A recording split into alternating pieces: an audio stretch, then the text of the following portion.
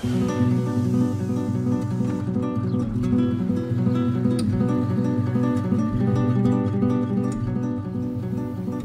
das? Ja. Das ist Frau Dr. Wolf. Sie arbeitet ab heute hier bei uns in der Kinderchirurgie. Sie kommt aus Berlin, von der Charité. Und hat sich entschlossen, hier bei uns. Wir haben uns schon vorgestellt.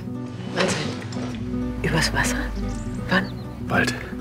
Sehr bald. Willst du auch da sein? Dich in Dänemark. Sie sollten sich nicht so separieren.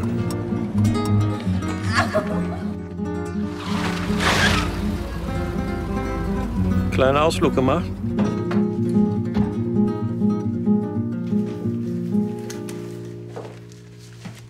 Kommen Sie bitte.